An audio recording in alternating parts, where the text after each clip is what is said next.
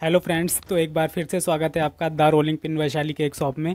तो अभी हम ये जो केक बना रहे हैं, ये केक जो है वन के जी का फ्रूट केक है। और आज जैसे कि गुरुजी का बर्थडे है तो हमने ये केक गुरुजी के बर्थडे के लिए बनाया है। तो ये फ्रूट केक जो है अंदर तो हम इसमें जो है कोकटल के जो फ्रूट्स आते हैं, हम वो सारे पाइन वगैरह, बाकी जो फ्रूट्स आते हैं, वो सारे केक के अंदर कट करके ऐड करते हैं। बाकी ऊपर से हम डिज़ाइन करने के लिए जो मार्केट में जो भी फ्रूट्स अवेलेबल होते हैं, वो चाहे एप्पल हो कीवी हो ग्रेप्स हो स्ट्रॉबेरी हो, या ऑरेंज हो, कोई जो भी फ्रूट्स अवेलेबल होते हैं, हम वो सारे जो है ऊपर से केक डेकोरेट करने के लिए वो यूज़ करते हैं। तो सेब एक ऐसा फ्रूट्स है जो आपको किसी भी टाइम मिलता है। आ, कीवी स्ट्रॉबेरी कीवी तो मिल जाती है लेकिन स्ट्रॉबेरी के लिए जो है आ, थोड़ी सी मुश्किल होती है तो हमने इस पर स्ट्रॉबेरी यूज़ भी नहीं किया है। तो हम पहले जो है एप्पल को कट सारे फ्रूट्स जो है केक को डेकोरेट करने से पहले कट कर लेते हैं। उसके बाद जो है हम इसको सही से डेकोरेट करेंगे।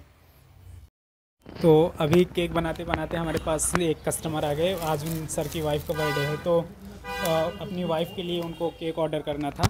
तो मैं उनसे बात करने लगा। तो अभी आ, अभी जो है आ, हम फ्रूट्स कट कर रहे हैं सारा। पहले हम अपने सारे फ्रूट्स कट कर लेंगे उसके बाद जो है केक को डेकोरेट करेंगे। लेकिन उससे पहले अभी तक आपने हमारे चैनल को सब्सक्राइब नहीं किया है तो प्लीज़ आपसे रिक्वेस्ट है कि आप हमारे चैनल को सब्सक्राइब कर लीजिए और वीडियो को लाइक कर दीजिए। हमने सबसे पहले एप्पल कट किया उसके पास हमने और ऑरेंज कट किया और उसके बाद जो है हमने एक ग्रीन ऑरेंज था हमने उसे कट कर लिया डेकोरेट करने के लिए। और हम पोमोग्रेनेट लेके आए थे अनार।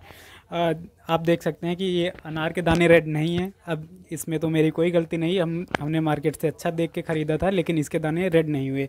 अब हम इसको रेड करने के लिए, हम इसको इस पर रेड जेली ऐड कर देंगे। तो केक हमने पहले से बना रखा था, अब हमने इससे फ्रूट सारे कट कर लिए थे।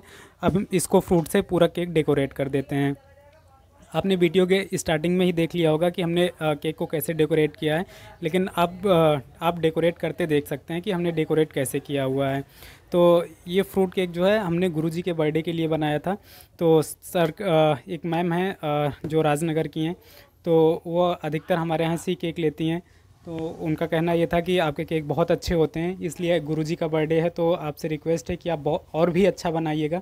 आपके केक हमेशा अच्छे होते हैं, लेकिन मैं चाहती हूँ कि गुरुजी के बर्थडे के लिए आप और भी अच्छा केक बनाएँ। तो हमने अपना हंड्रेड परसेंट दिया है इस केक में। और हमें भी ये उम्मीद होगी कि मैम को ये केक पसंद आएगा। तो हमने ये केक जो है फ्रूट से डेकोरेट कर दिया।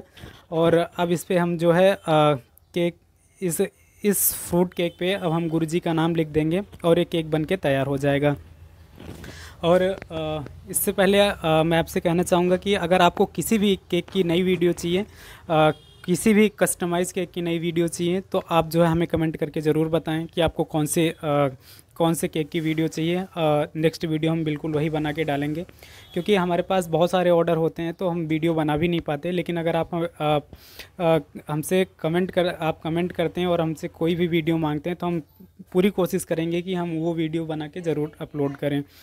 तो उससे पहले एक बार फिर से आपसे रिक्वेस्ट है कि आपने हमारे चैनल को सब्सक्राइब नहीं किया है तो प्लीज़ आप चैनल को सब्सक्राइब कर लीजिए। और आप देख सकते हैं कि जैसे पोमो ग्रेनेट हमने, जो मार्केट, हम मार्केट से लेके आए थे, उस पर उसके दाने लाल नहीं थे तो हमने उस रेड करने के लिए हमने उसमें रेड जेली ऐड कर दी और जो है अनार के दाने सारे रेड हो गए।